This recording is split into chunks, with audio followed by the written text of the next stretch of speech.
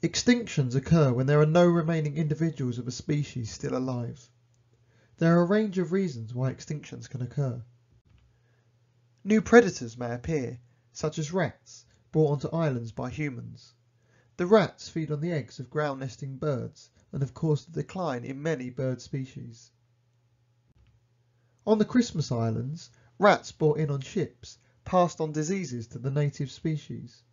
This has led to their decline and their eventual extinction.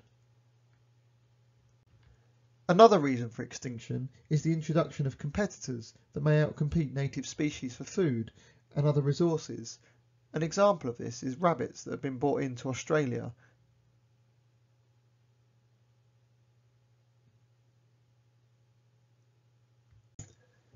Extreme events such as meteor strikes and rapid climatic change are also thought to be the causes of major historical extinction events.